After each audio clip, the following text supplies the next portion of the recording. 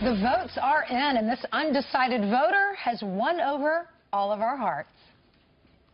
What steps will your energy policy take to meet our energy needs while at the same time remaining environmentally friendly and minimizing job loss for fossil power plant workers?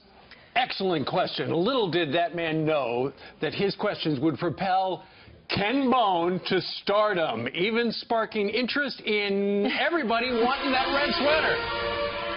Ken now joins us from St. Louis. Ken, when did you realize that your question was really resonating and your and your person was really uh, gaining fame?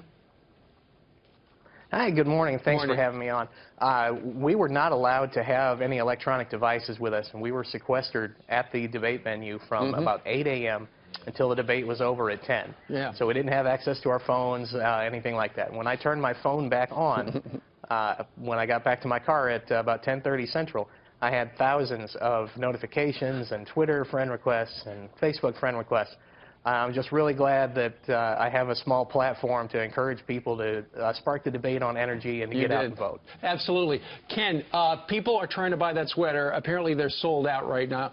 Uh, the sweater, though, is Plan B. What happened to Plan A, what you're going to wear? Well, if you want to find the sweater, I bought mine at Kohl's in Wausau, Wisconsin. so Okay, just use some rush there Kohl's right cash. now. All right. Uh, yeah.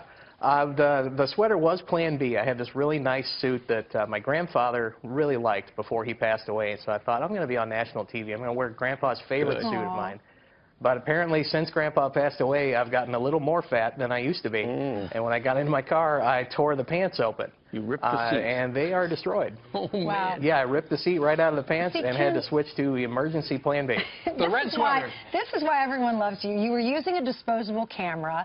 You admit that on national television. You're so transparent. I think you should run for president. Have you decided? I know you're an Well, undecided folks, I- voter. You were an undecided voter. Have you decided now? Well, you know, I, I can tell you all these stories because I'm not running for office and I don't Yeah. have anything to hide. I'm not old enough to run for president. Uh, but I, I think I'm actually more undecided than I used to be.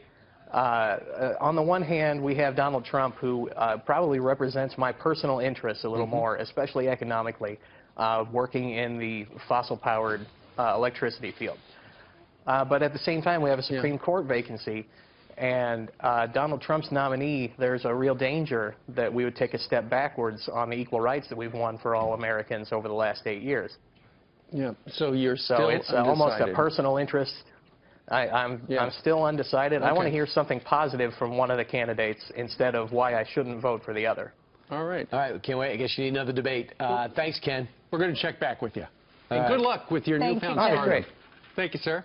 Hi, well, I'm doing the best I can. Thanks a lot. yeah, lot. he is. So you can get that sweater at Kohl's. Yeah, and follow him on Twitter.